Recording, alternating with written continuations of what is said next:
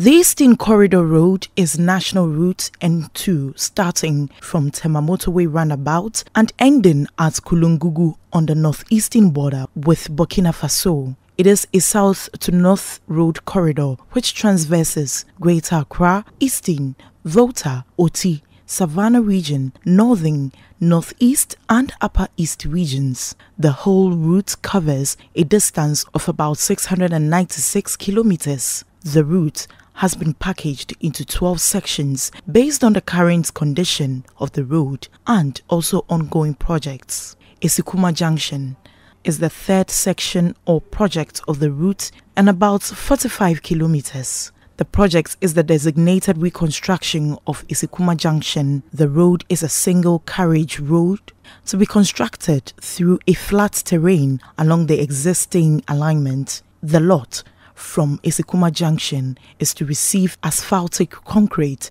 surfacing with a revised pavement thickness of 675 millimeters. Contractors on the whole section of the road say work on the entire stretch is about 75% complete. 120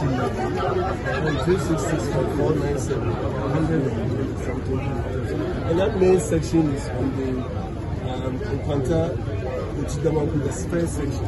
That is basically up to the sections, the leader section, and much. These are the Brazilians. And Your Excellency, these are pictures sections of the Eastern Corridor. You remember in 2018, today those are the pictures. Currently, we have 12 projects ongoing on the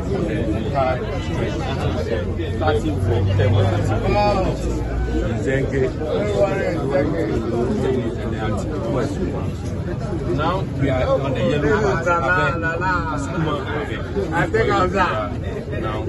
Yella.